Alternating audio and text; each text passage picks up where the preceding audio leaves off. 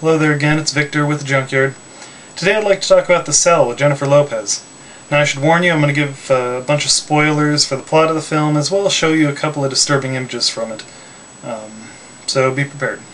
The movie starts out with Jennifer Lopez in a silly dress riding through the desert on a horse with no name. Sorry.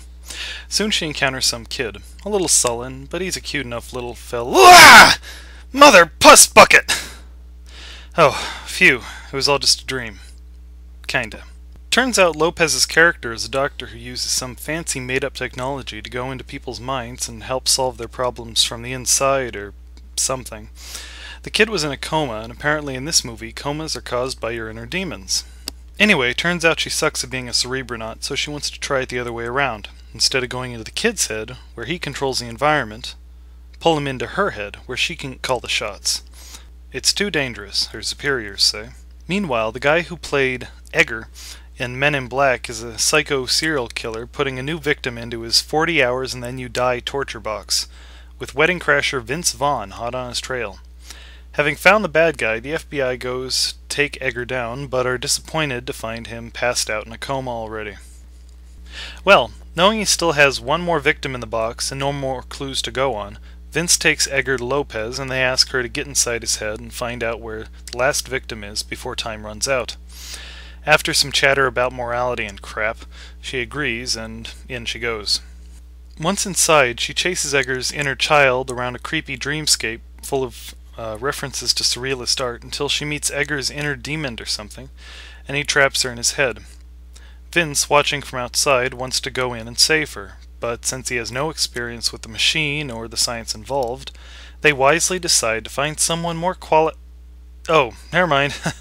they send him in because he's a big white man and thus perfectly qualified. And after some torture porn, he does save her and get some clues for finding Edgar's last victim, who's feeling a little stressed at this point. While Vince goes to save the girl in the box, Lopez decides to go ahead and reverse the machine, dragging Edgar into her head. There she and inner child have a heart to heart until inner demon interrupts them. She then goes Frank Miller on the guy until he's a bloody shish kebab.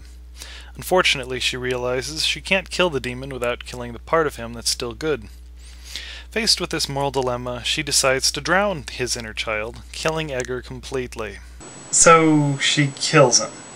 This doctor kills a man, her patient essentially, to spare his inner child pain. I, I, I don't know where to start in this. She used all of this high tech technology, all these years of medical training and education. She risked her sanity to do what I could have done with a hammer. You know? That's ridiculous. okay, so the girl is saved, Edgar is dead, and Lopez? She's using her new approach to therapy on that kid from the beginning. Kid! Run! She's right there, you gotta run! Get away while you still can! No, don't go to her, run! Hide behind her Hippocratic oath, she'll never look there! So yeah, that's the thing I never got about the film. Why would they let her use this reversal method again if the only patient she ever treated with it before died? Or rather, was killed. By her. it boggles the mind. Well, this has been uh, Victor with the Junkyard. Hope to see you again soon.